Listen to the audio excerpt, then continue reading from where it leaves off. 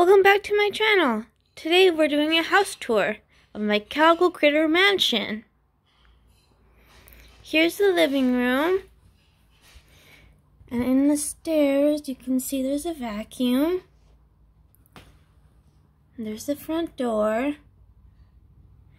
Here's the kitchen. And the dining room. Up the stairs we go to the main bedroom. Here's a piano and a bed.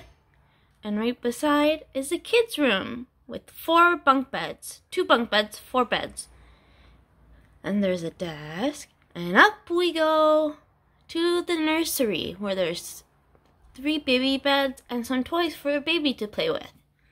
And beside is the bathroom with a bathtub, a toilet, and everything you need in the washroom.